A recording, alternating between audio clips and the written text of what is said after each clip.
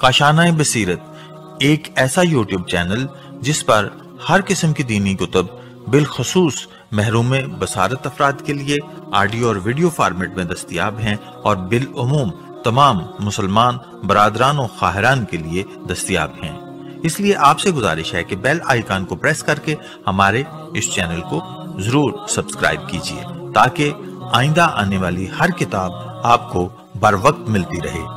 काशानाए बसीरत। काशानाए बसीरत। काशानाए बसीरत। काशानाए वालेकुम सामीन यह है काशान बसीरत का यूट्यूब चैनल और हम मिलकर यहाँ पर आज एक ही नशस्त में पढ़ने जा रहे हैं। इंतहाई अहम मालूम जानने जा रहे हैं नमाज़ आयात के हवाले से, जो कि हम तक पहुँची हैं मदरसतुल्क़ायम के पी डी एफ़ के ज़रिए। तो आइए हम मिलकर बाकायदा रेटिंग का आगाज़ करते हैं और यहाँ पर हेडिंग है, जलजले से हिफाजत। तफसीलात कुछ यूँ हैं कि जलज़ले से बचने के लिए सूर्य जलजाल का पढ़ना बहुत मुफीद है। जलज़ले से बचने के लिए ख़ास तौर पर नाफिला नमाज़ों में इस सूर्य को पढ़ा जाए। हवाला है मकारमखलाक अल्लामा तिब्रसी, जिल्द नंबर एक, सफ़ा नंबर 366 साथ ही लिखा है कि सूर्य इमाम रज़ा अलैहिस्सलाम ने फरमाया कि सूर्य जलजाल का चार बार पढ़ना पूरे कुरान की तिलावत का सवाब दिलवाता है। हवाला है अयून अखबार अर्रज़ा, जिल्द नंबर एक, सफ़ा नंबर फोर्टी वन और हम अब अगले सफ़े की जानब आ गए हैं, जहाँ पर लिखा है, इमाम जाफ़र सदक ने फरमाया कि जलज़ला और उस जैसे दूसरे अजाब, जैसे कि तूफ़ान और सैलाब वगैरह, इंसान के लिए नसीहत हैं, ताकि लोग इबरत हासिल करें और गुनाहों से परहेज करें। हवाला है बिहारनवा जल्द नंबर तीन, सफ़ा number one hundred and twenty one और फिर लिखा है, ये हेडिंग है कि हामला खातन पर चाँद और सूरज ग्रहण के असरात। इसमें सवाल है कि चाँद ग्रहण के हामला खातन पर असरात की इस्लाम में क्या हकीकत है? क्या ये असरात शरीयत से साबित हैं? और जवाब दिया गया है कि चाँद ग्रहण और सूरज ग्रहण का हमला खातन पर कोई असर नहीं होता। और हवाला नोट कीजिए, इस्तफ्ता आयतुल्ला सैद अली सिस्तानी, तारीख इस्तफ्ता छः ग्यारह दो हज़ार ग्यारह। और अब आइए अगले सफ़े की जानब, जहाँ पे लिखा है कि नमाज़ आयात पढ़ने का आसान तरीका। नमाज़ आयात की दो रकतें हैं और हर रकत में पाँच रुकू हैं। पहली रकत में सूरह अलहमद के बाद बिस्मिल्लाहिर्रहमानिर्रहीम, कुल आउज़ु बिरब्बिल फलक। फिर रुकू के बाद खड़े हों और कहें, मिन शर्र मा खलक। फिर रुकू के बाद खड़े हों और कहें, व मिन शर्र गासिकिन इज़ा वक़ब। फिर रुकू के बाद खड़े हों और कहें वमिन शर्र नफ़ा सात फिल उक़द। फिर रुकू के बाद खड़े हों और कहें, वमिन शर हासिदिन इज़ा हसद। और फिर रुकू करके दोनों सजदे बजा लाएँ। दूसरी रकत में भी यही तरीक़ा दोहराएँ। तशहद सलाम पढ़कर नमाज़ तमाम करें। इस सफ़े पर ये हमने मुकम्मल मालूम जान ली और अब अगले सफ़े पर लिखा है, नमाज़ आयात। किस शहर के लोग पढ़ें? यहाँ पर यह सवाल है तफसीलात इसके जवाब के कुछ यूँ हैं कि जिन चीज़ों के लिए नमाज़ आयात पढ़ना वाजिब है, वो जिस शहर में वक़ू पजीर हों, फ़कत उसी शहर के लोगों के लिए ज़रूरी है कि नमाज़ आयात पढ़ें और दूसरे मकाम के लोगों के लिए इसका पढ़ना वाजिब नहीं है। हवाला नोट कीजिए तोज़ी तोज़ीमसाइल आयतुल्ला सैयद अली सिस्तानी। और अब हम जानते हैं हेडिंग है हेडिंग में एक सवाल दिया हुआ है कि जलजले की नमाज़, आयात कब तक पढ़ी जा सकती है? जवाब हैं, तफसीलात यूँ हैं कि आयतुल्ला सिस्तानी के फतवे में जलजिले के चंद मिनट के अंदर अंदर हत्तलमकान नमाज़ आयात को अदा कर लेना चाहिए। इससे ज़्यादा वक्त गुजर जाए तो इस नमाज़ आयात को पढ़ना वाजिब नहीं रहता। अलबत् एहतियात मुस्तहब ये है कि अलबत् एहतियात मुस्तहब है कि बाद में बग़ैर अदा या क़ज़ा की नीयत से पढ़ी जा सकती है। और साथ ही लिखा है कि आयतुल्ला खुई के नज़दीक जलजले की नमाज़ आयात क़ज़ा नहीं होती और बाद में जब भी पढ़ी जाए, एहतियात वाजिब की बिना पर बग़ैर अदा या क़ज़ा की नीयत से पढ़ी जाए। आयतुल्ला खामनाई के नज़दीक अदा की नीयत से पढ़ी जाए। तो हमने तमाम तफसीलात सफ़े पे जानी और अब हम जिस सफ़े पे अगले सफ़े की जानब आ गए हैं, वहाँ पर पाँच या छः सवाल हैं और साथ साथ उनके जवाब हैं। आइए मिलकर पढ़ते हैं। सवाल अगर किसी इलाके में जलजला आया हो और किसी शख्स को महसूस ना हुआ हो तो क्या फिर भी उसे नमाज़ आयात पढ़ना होगी? जवाब, जी हाँ। सवाल, अगर जलजला हल्का हो और किसी को खौफ महसूस ना हुआ हो तो क्या नमाज़ आयात पढ़ना होगी? जवाब, जी हाँ। सवाल, जलजले की नमाज़ आयात पढ़ने में कितनी ताखीर की जा सकती है? जवाब अगर मुमकिन हो तो चंद मिनट के अंदर अंदर पढ़ लेनी चाहिए। सवाल, क्या नमाज़ आयात से पहले अजान अकामत और दरमियान में कनूत पढ़ना ज़रूरी है? जवाब नमाज़ आयात में अजान व अकामत नहीं है, कनूत वाजिब तो नहीं अलबत् मुस्तहब है। अगला सवाल है कि क्या आकाए सीस्तानी के नज़रिए में नमाज़ आयात में सूर अलहमद के बाद जो सूरा पढ़ा जाता है, उसकी बिस्मिल्लाह रहमान रहीम को एक आयत करार दिया जा सकता है?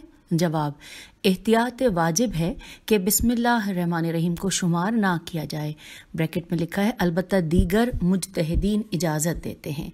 और अब आइए मज़ीद जानते हैं, अगले सफ़े पर हेडिंग है अगर किसी ने जानबूझ कर नमाज़ आयात कज़ा कर दी हो तो अब उसकी तफसीलात क्या हैं कि आयतुल्ला सिस्तानी के नज़दीक अगर चाँद या सूरज को मुकम्मल ग्रहण लगा हो और इस बात से बाखबर होने के बावजूद किसी ने जानबूझकर नमाज़ आयात नहीं पढ़ी और उसका वक्त गुजर जाए तो एहतियात वाजिब की बिना पर उसकी क़ज़ा अंजाम देने से पहले गसल करे। हवाला है तोज़ी मसाइल जाम मसला number one eight two zero और साथ ही नीचे लिखा है कि Ayatollah Waheed, Khorasani Ayatollah Khamenei और इमाम खुमैनी रहमतुल्लाह के फतवे में फतावे में इस नमाज़ की कज़ा के लिए वज़ू काफ़ी है, गसल की ज़रूरत नहीं। और फिर नीचे लिखा है कि अगर जुजवी ग्रहण लगा हो तो उसकी कज़ा में आयतुल्ला सिस्तानी के नज़दीक गसल का हुक्म नहीं है।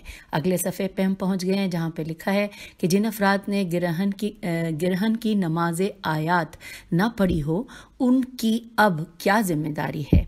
ये सवाल यह है, निशान लगा हुआ है यहाँ पे, ये सवाल है। आइए हम इसकी तफसीलात जानते हैं जवाब की सूरत में कि नहीं, पहले सवाल ही को दोबारा एक्सप्लेन किया गया कि जिन अफराद को अपने शहर में जजवी चाँद गिरहन होने का इल्म था और उन्होंने किसी वजह से उस नमाज़ को अदा नहीं किया था तो उसकी कज़ा अंजाम देना होगी। अच्छा सॉरी, ये जवाब है। चलिए इस सफ़े को दोबारा पढ़ते हैं कि जिन अफराद ने ग्रहण की नमाज़ आयात ना पढ़ी हो, उनकी अब क्या ज़िम्मेदारी है? जवाब है कि जिन अफराद को अपने शहर में जुजवी चाँद ग्रहण होने का इल्म था और उन्होंने किसी भी वजह से उस नमाज़ को अदा नहीं किया तो उसकी कज़ा अंजाम देना होगी। और अगर किसी को जुजवी चाँद ग्रहण का इल्म न था और ग्रहण के ख़त्म होने के बाद उसका इल्म हुआ तो उस नमाज़ आयात की कज़ा करना वाजिब नहीं है। अगर मुकम्मल ग्रहण लगे और नमाज़ को अदा न किया हो तो ख्वाह उसका इल्म हो या न हो।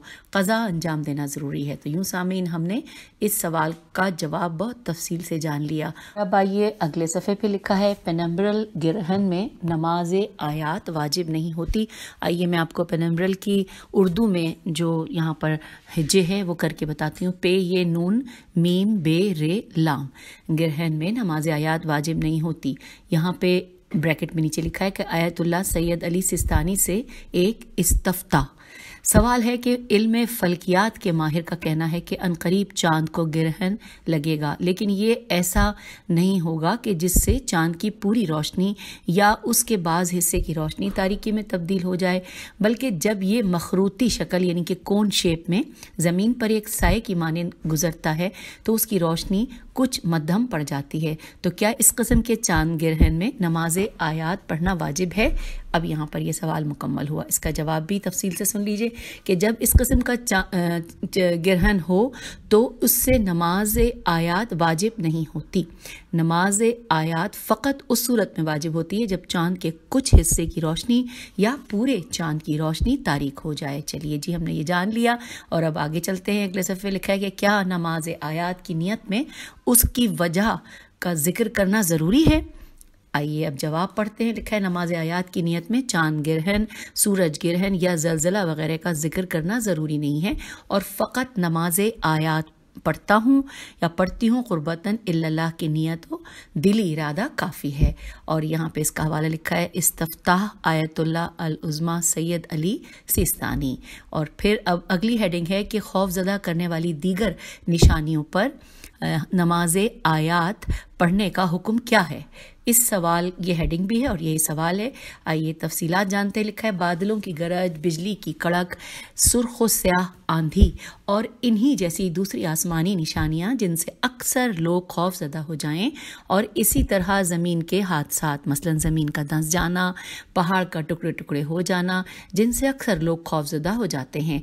इन सूरतों में भी एहतियात मुस्तहब की बिना पर नमाज़ आयात तर्क नहीं करनी चाहिए। यहाँ पे लिखा है ब्रैकेट में कि नोट के यानी कि इन सूरतों में नमाज़ आयात वाजिब नहीं होती। ब्रैकेट में ये लिखा हुआ है नोट। और फिर हवाला नोट कीजिए तोज़ील मसाइल आयतुल्ला सैयद अली सिस्तानी, मसला number one four seven zero, ये इसका हवाला है। अब अगले सफ़े पे लिखा है कि नमाज़ आयात में कनूत कब पढ़ा जाए? सवाल है। अब यहाँ पर लिखा है कि दूसरे, चौथे, छठे, आठवें और दसवें रुकू से पहले कनूत पढ़ना मुस्तहब है। और अगर कनूत सिर्फ़ दसवें रुकू से पहले पढ़ लिया जाए, तब भी काफ़ी है। हवाला है तोज़ील मसाइल, आयतुल्ला अलुज़मा सैयद अली सीस्तानी। चलिए, अगले सफ़े की जानब चलते हैं, जहाँ पे हेडिंग है कि नमाज़ आयात को जमात से पढ़ना कैसा है। सवाल है ये, और इसकी तफसीलात क्या हैं? आगे जानते हैं लिखा है चाँद और सूरज ग्रहण की वजह से नम, वाजिब होने वाली नमाज़ आयात का जमात से पढ़ना मुस्तहब है। ख्वा अदा पढ़ी जा रही हो या कज़ा?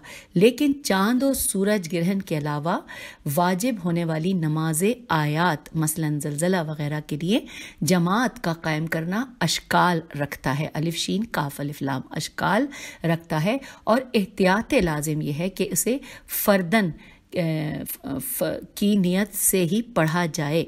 हवाला है मिनहाजुसालहीन जिल नंबर एक, सफ़ा, मसला नंबर सात सौ बारह, आयतुल्ला सिस्तानी। चलिए, मज़ीद जानने के लिए हम आगे, अगले सफ़े पे आ गए हैं, जहाँ पे लिखा है कि मुतद कज़ा नमाज़ आयात अदा करते वक्त नियत में निशानी के तयन का मसला। इस हवाले से जानते हैं क्या है? लिखा है कि अगर किसी शख्स पर कई नमाज़ आयात की कज़ा वाजिब हों, ख्वाह वो सब उस पर एक ही चीज़ की वजह से वाजिब हुई हों। मसलन, सूरज को तीन दफ़ा ग्रहण लगा हो और उसने उसकी नमाजें ना पढ़ी हों या मुख्तलिफ़ चीज़ों की वजह से, मसलन, सूरज ग्रहण और चाँद ग्रहण और जलजिले की वजह से उस पर वाजिब हुई हों तो उनकी कज़ा करते वक्त ये ज़रूरी नहीं कि वो इस बात का तयन करे कि कौन सी कज़ा कौन सी चीज़ के लिए कर रहा है। हवाला है तोज़ील मसाइल मसाइल आयतुल्ला सैयद अली सिस्तानी मसला number one four seven two.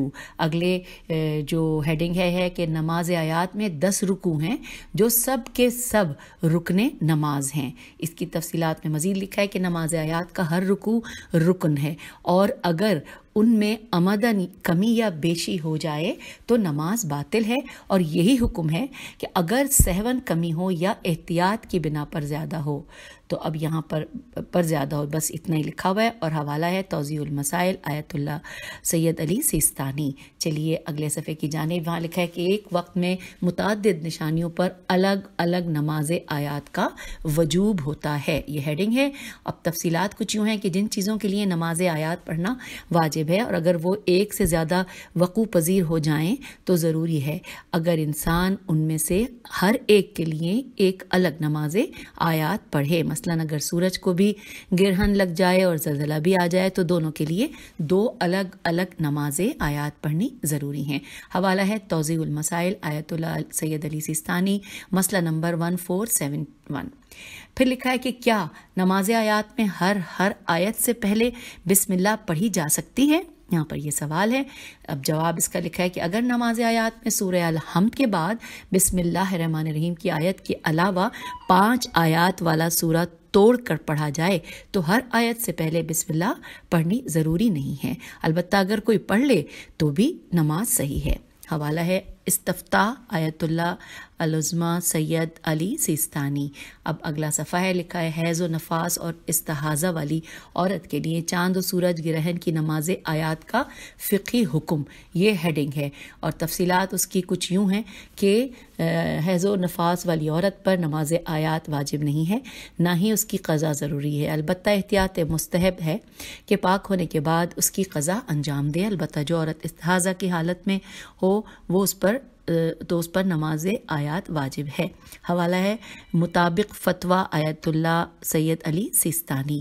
फिर है, नमाज़ आयात की जमात में तीन बार असलात कहने का हुक्म।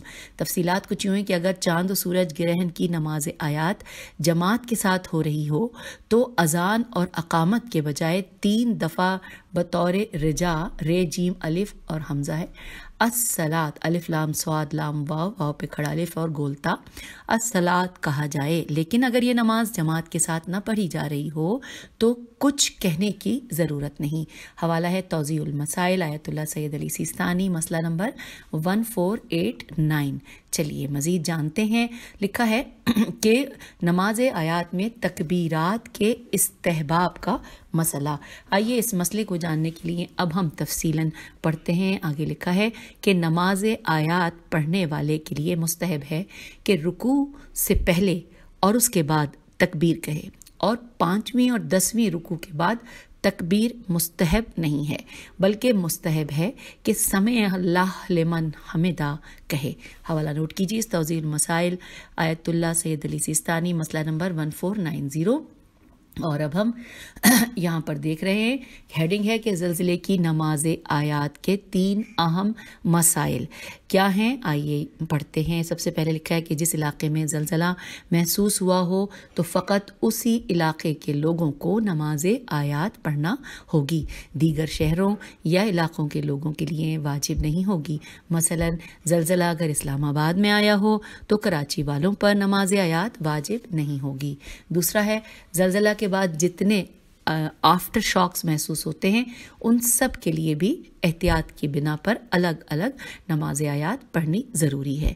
तीसरा है कि नमाज़ आयात के वाजिब होने के लिए जलजला हर हर शख्स को इनफरादी तौर पर अलग अलग महसूस होना ज़रूरी है। तो ये हमने तीनों यहाँ पर पढ़ लिए हैं अहम मसाइल के हवाले से। अब आ गया यहाँ पर सवाल और जवाब का सफ़ा है, जिसमें मेरे ख्याल है इसी तरह सात आठ सवाल हैं और जो सात सात जवाब हैं नमा, और इसकी हेडिंग है नमाज़ आयात। आइए जानते हैं।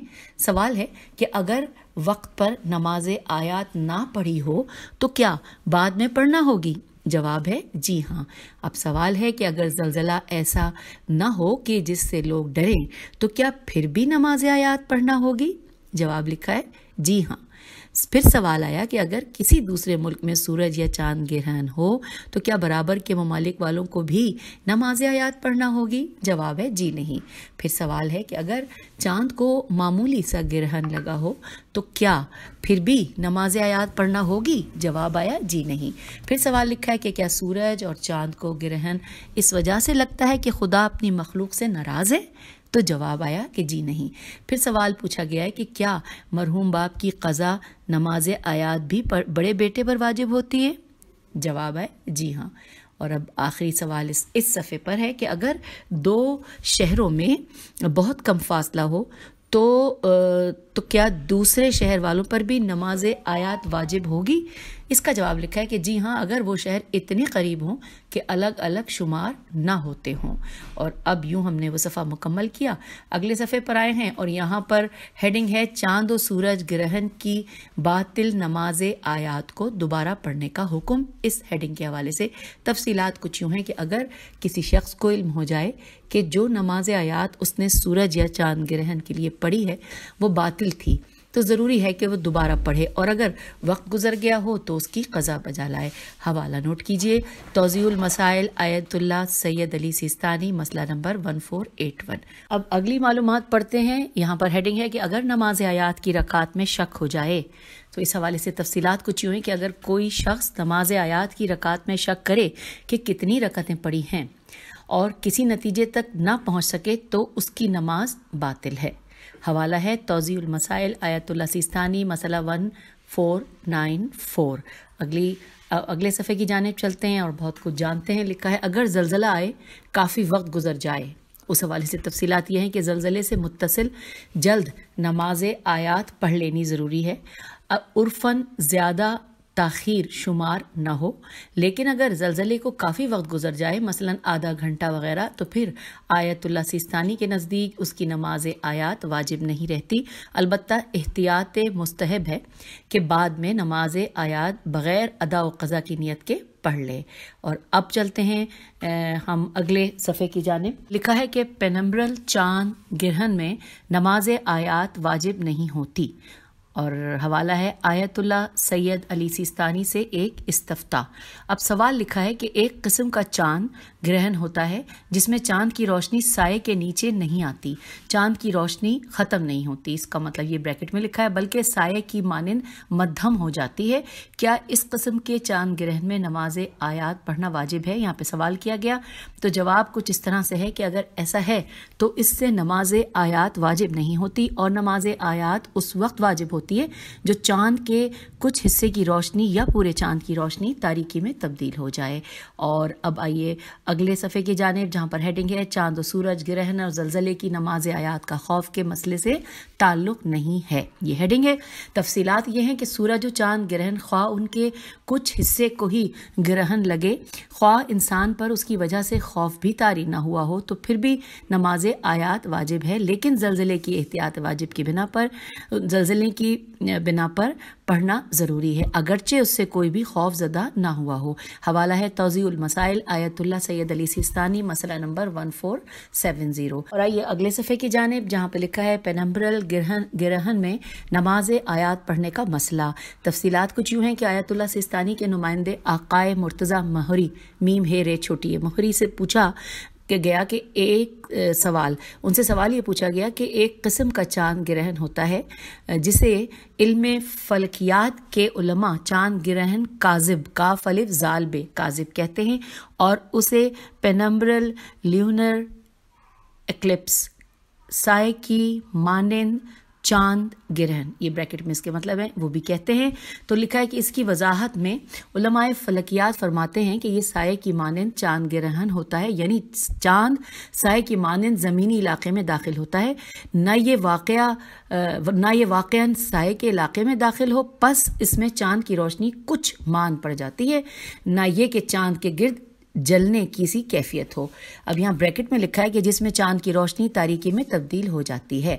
सवाल यह है कि क्या आयतुल्ला सिस्तानी के नज़दीक इस कस्म के चाँद ग्रहण में नमाज़ आयात पढ़ना वाजिब है? तो जवाब छोटा सा है और जवाब यह है कि इस कस्म के चाँद ग्रहण में नमाज़ आयात पढ़ना वाजिब नहीं है। और अब हम इस पी डी एफ़ को पढ़ते हुए बिल्कुल आखिरी मराहल में आ गए हैं। यानी कि हमने सिर्फ़ अब दो तीन सवाल ही पढ़ने हैं। यहाँ पर लिखा है पेनम्बरल चाँद ग्रहण से मुतल आयतुल्ला खामन बनाई से एक इस्तफ्ता। सवाल यह है कि चाँद ग्रहण की एक किस्म है कि जिसमें चाँद की टिकिया, यानी कि डिस्क साय में नहीं जाती, बल्कि चाँद की डिस्क पर रोशनी कम, यानी आधे साय की तरह होती है। क्या आयात की नमाज़ वाजिब है? तो जवाब दिया गया कि अगर ग्रहण ग्रहण ज़मीन और चाँद और सूरज के दरमियान वाक़ न हो तो नमाज़ आयात वाजिब नहीं है। और यूँ हमने ये आखिरी मालूम जो इस पी डी एफ़ में हम तक पहुँची थी मदरसतुल्क़ायम की जानब से, जलजिले के हवाले से, भी बहुत सी यहाँ पे इंफॉर्मेशन थी जो कि ना, और ख़ास तौर पे हमने नमाज़ आयात के बारे में जाना। और अब हम आपसे इजाज़त चाहते हैं। खुदा हाफिज़, फ़ी अमान